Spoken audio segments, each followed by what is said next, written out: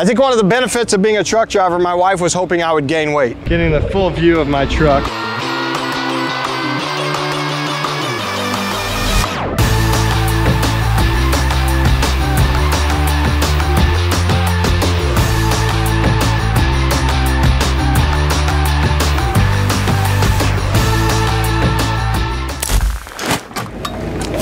Hi, I'm Johnny with Reliable. I've been with Reliable for a year and a half. Always had an interest in coming here. It took a lot of effort for me to make the decision to come. I worked for several car hauling companies before I came here. Haul a lot of exotic cars, so this kind of fit my bill for what I was looking for.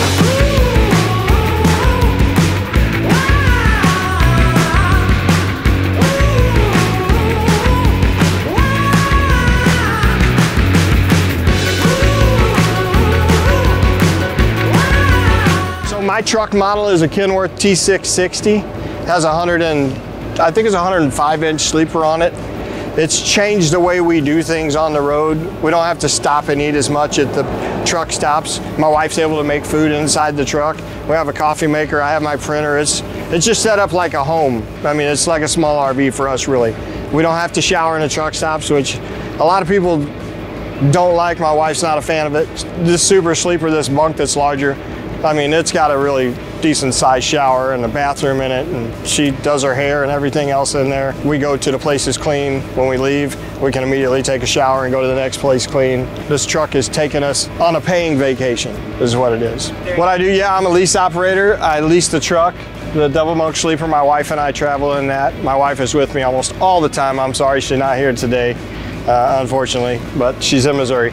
So uh, we travel together, so the bigger bunk is just amazing for us. She's been with me in an open carrier where we had the coffin bunk. She's ecstatic about having this. We haul exotic cars for Reliable, sometimes prototype cars, sometimes people's personal POVs that have been, you know, passed down for hundreds of years. And we put them in this trailer. This is a six car Kentucky trailer.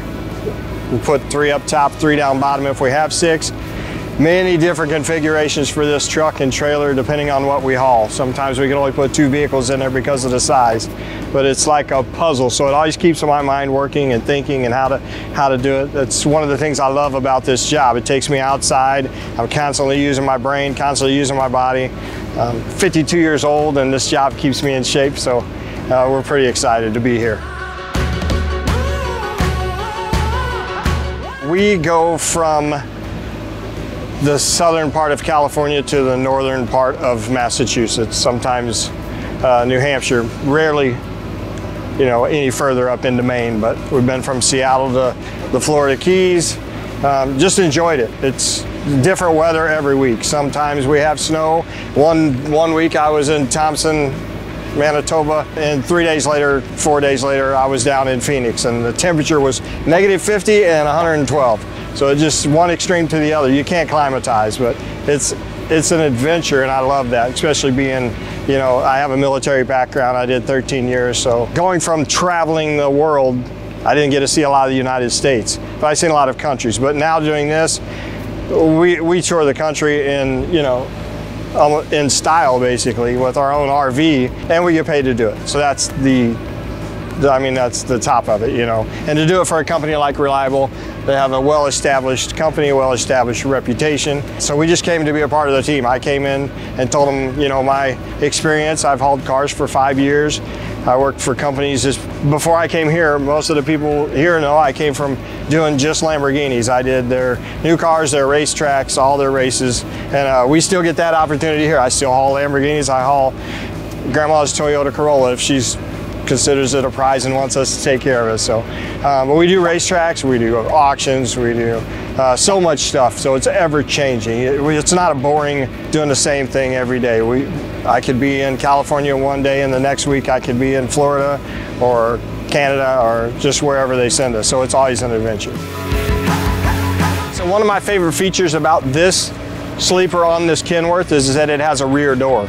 So I use that rear door for I, I, cut my own hair, so I use my rear door. It's fully mirrored on the back, so I cut my own hair standing, standing on my catwalk. But I love that because even though I'm small, at the end of the day, you're tired and it's still kind of difficult for me, you know, to get in and out behind my steering wheel, in and out the door. So I'll just come through the sleeper, get something to drink, sit down for a minute, and then whenever I go in or out, we always, my wife and I both, use this rear door. It freaks a lot of drivers out because when you walk in between their truck and yours, they're like, where are you going? And then you just disappear.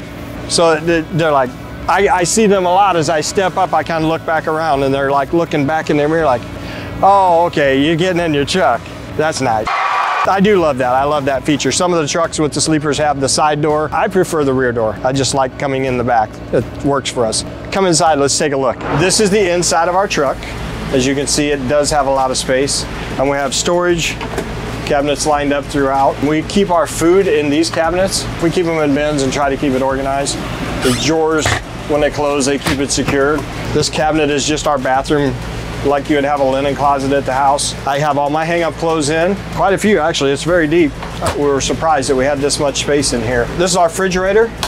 I mostly keep cold drinks in there. When my wife is with me, we keep food in there so she can cook it. Set the skillet up here. She's able to plug into any one of the outlets and, and cook the meals, utilizing the table for cutting. And uh, she's been a great help. It's been amazing to be able to make our own meals and have this convenience. So we get up in the morning, we have our coffee that we make instantly. This is like the office. I have my printer, all my paperwork, all of our office supplies, obviously my TV, so that when we have downtime, we're able to do that. It cuts into a lot of our extracurricular activities when you're down. You don't have to try to go somewhere to find something to do. We just, we have the TV right here. We can plug and play, have a sound bar, pretty loud. The microwave also works as a convection oven.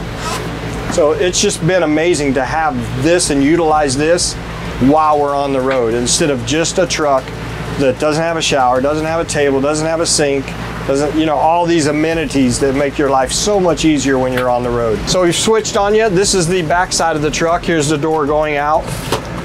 Little handle, it locks for your safety and security. Not only does this lock, but it also opens. So you have a screen door. On cooler nights, we leave it open. This table, I mean, it's really solid table. So we utilize that. We both sit here, we play cards. The cards are actually in the office supplies. I like that you don't have to take anything apart. The only thing I have to do to lower this bed, which is here, is just take these two cushions off and pull this latch. The table folds down. It, it's this part sits here our bed comes down. This bed is amazingly comfortable. We've been in hotels where we've actually walked out of the room and said, we'll just sleep in a truck. It's more comfortable. It's a very nice wide bed for her and I. We have plenty of room. In a, in a regular truck, you're, you're tight trying to sleep on a bed or you're, you know, a, a bunk truck where one's on one bed and one's on the other. I have the pleasure of being able to sleep beside my wife every night that she's with me. And it's just convenient. It takes three seconds to put it down and three seconds to put it back up. It, it's no time at all. This is our bathroom. My wife will usually sit here and do her hair and makeup with this mirror. Like I said, whenever I addressed this before, the shower is actually bigger than what we were thinking it was going to be. So the lights on, has a speaker inside the shower that also has a commode inside the shower that you can utilize. But the water's as hot as you want it. I think we have a 40 gallon tank. So as long as you don't have both of them wide open, you could take a half hour shower with no problem my wife, you know, she's able to wash and do her hair and condition it with no problem, shave. I don't do that, but you get the drift. But yeah, I, uh, it's just super convenient. Trying to park at a truck stop, a lot of times we, we work late hours, so we don't get the opportunity to, to find a spot in at the truck stop. So we can park anywhere. We can park at the rest area where they don't have showers, but we always have a shower no matter where we're at. Even if it's the racetrack, you know, we're off to the side in the marshaling yards or something. You'll see all of us go there and shower at the end of the day. It's just extremely nice. This is the best feature, in my opinion, of these trucks is being able to work hard and shower at the end of the night because you wake up fresh. You, you're able to sleep. You, you go to bed clean. You get a full night's sleep because you're clean. You're not trying to go to bed waiting for a shower, your first opportunity to get one. My first opportunity to get a shower is whenever I decide to take a shower. One of the best parts about having this truck. So this is the business end of getting the cars from point A to point B. This is what makes my title a truck driver. 90% of my job is an automotive transport specialist. We secure the cars, we deliver the cars safely, we inspect the cars, load the cars, deliver the cars, but we still drive. And as you can see, this is a man's truck. Has 10 gears. It's a 10 speed. I love having this. I, I've always liked this versus an automatic, so I'd like to keep shifting as long as I can until they deem it unnecessary. This truck is like all the other trucks. Most of us run a CB so we can talk to people, find out about traffic conditions. I've been saved hours and hours and hours of time by being able to avoid a highway shutdown just by having my CB on. Everything else is pretty basic. We run an electric logbook that keeps track of our hours for us, takes all the guesswork out, tells us when we need to take a break, tells us when we need to shut down. At first this was difficult for a lot of people to do, myself included, but now I love it. It's super convenient, very convenient. I love the electronic logbook. All of our gauges that we monitor, I have a very nice radio system in this, and as you've seen in the bunk that I didn't address, there's a switch back there that will flip on and off the seven or eight speakers back there. So if my wife doesn't want to listen to the song I'm listening to, she just flips the switch and it shuts off. And if she likes what's going on, she can flip the switch and we can crank it up and keep on going down the road. Other than that, it's just a basic Kenworth T660, has a PACCAR engine. I'm pretty happy with it. All right, so you've seen where we hang out. You've seen where we are when we drive. We've talked about the trailer and how many cars we can put inside. So let's open it up and check it out. This is a, called a Kentucky 6. We can put six vehicles in it. We put three vehicles up top, three vehicles on the bottom. The configurations change depending on the vehicles. We have larger SUVs, some of the stuff that's coming out now, we can't put six of them in there. We can't put six massive trucks inside here. Sometimes it's only three. So we configure the ramps. The top ones go up and down. The bottom is obviously a kind of a flat floor, but it's stationary. But the top moves up and down, so that's how we configure it. And a lot of it's, like I said, it's using my brain, figuring out how to piece the cars in there to get them to fit. Uh, some of them are extremely close together. Some of them we have all kinds of room. But this is where we actually go to work. So that's why I say a lot of our job happens right here, not just behind the, the seat. We don't back up to, to docks. Somebody, nobody else unloads these vehicles for us. Sometimes we do have assistants. Um, sometimes we have a team of people. Sometimes we have a camera crew, a film crew. They come and do a, a production of us loading and unloading the vehicles. But for the most part, it's you by yourself, utilizing the skills you've learned in training, what you've learned through trial and error, what works best for you, what doesn't, and just the other drivers. That's one of the great things here um, that I've noticed. And any of the places that you go and you load cars, hardly anyone will leave unless you're done. They always come and ask, hey, do you need, I'm getting ready to take off, do you need a hand with something? If you need help, let me know. We're constantly helping each other out. Just that extra set of eyes and those extra set of knowledgeable hands of somebody that knows what they're doing makes your job so much easier. So you're by yourself when you do this, but if you're at an event, you're not by yourself. All the reliable drivers help each other. It's a close-knit family when it comes to doing those type of jobs and that kind of work. So if you're interested in it, reach out to uh, the reliable team here. Talk to Tim Sleeman, amazing, amazing person. I will never regret the phone call I made to him when he answered and, and brought me on board. A lot of wonderful people work here. The maintenance team is amazing. We have some of the great mechanics that have gone through my truck and fixed things that I didn't even know were wrong. They just catch it. They're like, I'm gonna fix that too. So it's been wonderful to have the maintenance crew that we have here, the training crew, the safety crew, the management. I've never had an issue with not a single person here. I love the dispatch. I've never been able to say that before about jobs that I've worked at, delivering cars. I've only delivered cars. I've never done freight. I've only worked hauling cars. Everybody's different, personalities is different.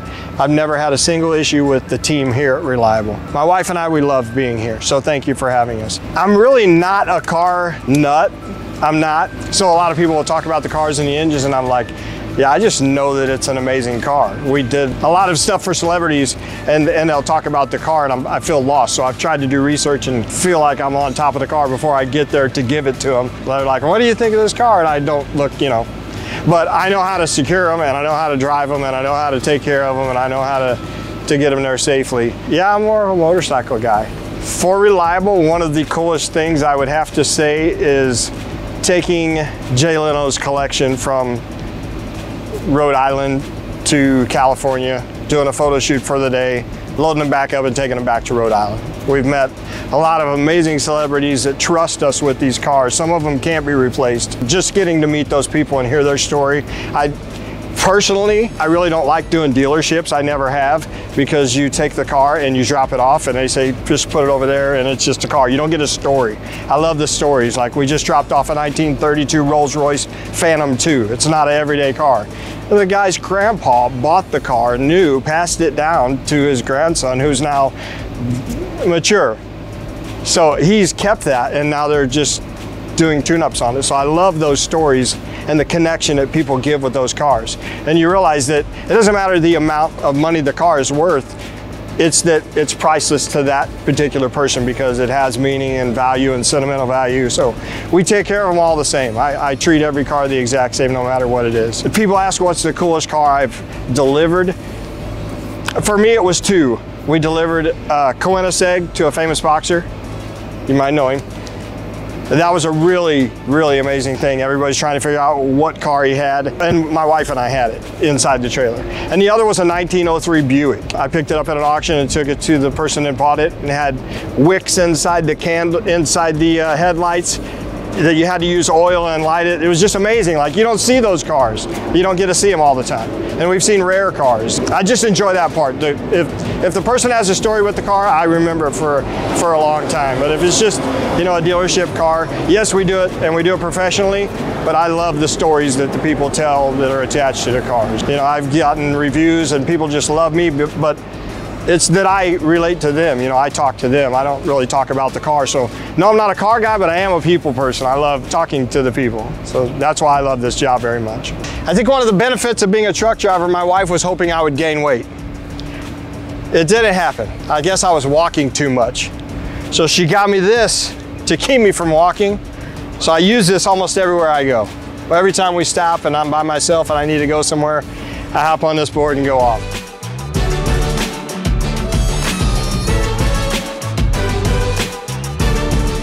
Serves two pole, twofold. I get to have a great time while I'm on it.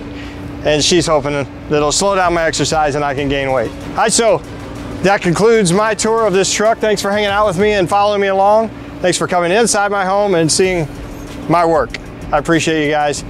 If you're interested, check out Reliable Carriers. I got to go.